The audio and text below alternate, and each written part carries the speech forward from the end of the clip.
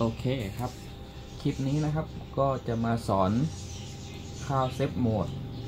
เซฟโหมดนะครับสำหรับ Windows 10 นะครับ Windows 10 นะครับ มันกด F8 ไม่ได้เหมือนกับพวก Windows 7 แล้วนะครับผม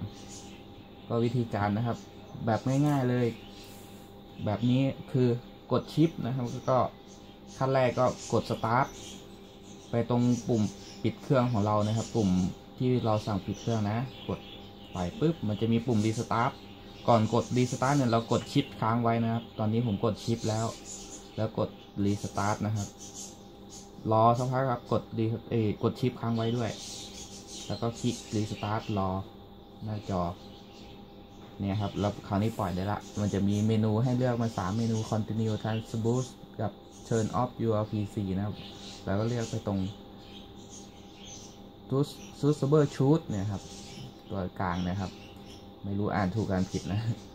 อ่ากดเข้าไปปุ๊บ มันจะมี 2 ตัวเลือกให้เลือกอีก reset dit pc กับ advanced option ก็เลือกตรง advanced option นะครับผม เข้ามาปุ๊บก็จะมี 6 เมนูให้เลือกนะครับ ก็ง่ายดีครับ มี system restore command พร้อม system image recovery start up setting start up repair go back to the previous build อ่า This- โอเคอันที่ผมจะพูดถึงก็คือ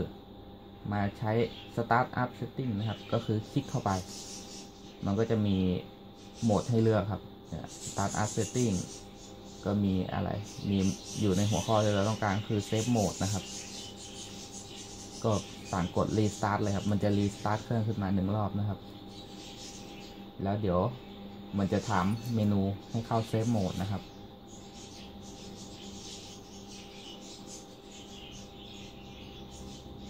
นี่ครับ ขึ้นเมนูมาแล้ว เป็น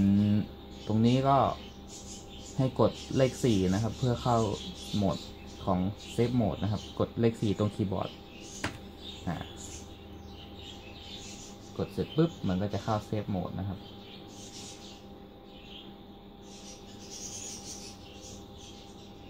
นี่ครับเป็น safe mode เรียบร้อยแล้ว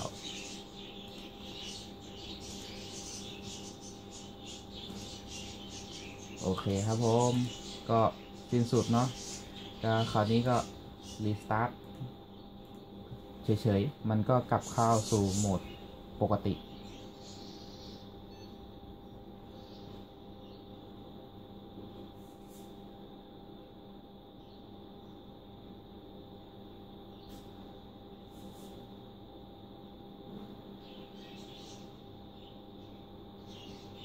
คอมไม่ได้เช็ดฝุ่นเคอะเลย